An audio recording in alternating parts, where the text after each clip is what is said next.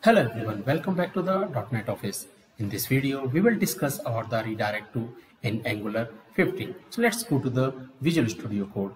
So this Visual Studio Code here, I have changed the HTML of this uh, like HTML page and I have written some CSS to this one and if you will go on the browser it will look like this. So currently when we go on the default uh, page uh, like default url of this application that is localhost 4200 we are redirecting to the home page. And when we click on other uh, like links we are nav navigating to the respective page.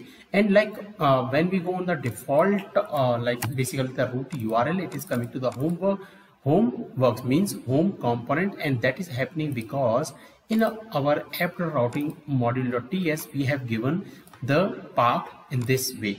Now what if i will comment this line and i save it and go on the browser?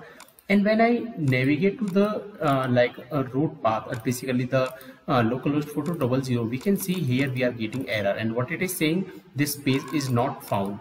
In such kind of the scenario like uh, um, for an example if you are facing any issue while navigating to the page and you want like if any user uh, face any issue to access any page and you want to redirect uh, from there to the particular page then you can use the redirect. Now for an example here uh, like user not able to access the uh, that path so what we can do we can tell to the user to redirect to the particular path. And so for that one what we use we uh, use the redirect to and here we can say like user can go on the home component. And with that what we have to do we have to give the uh, like uh, path match and that will be always the full.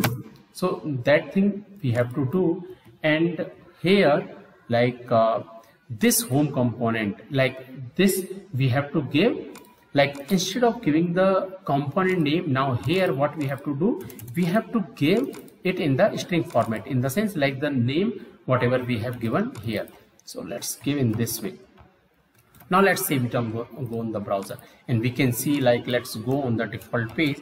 When i going see uh, when i delete it and when i reload this page so what it will happen? It will go to the home page. You will see here. So when i go you can see it is redirecting to the home page. So basically redirect to is used when you want to redirect your page on the another component. So for that purpose we use redirect to in the angular 15 that's it for this video. If you have any question and doubt please comment.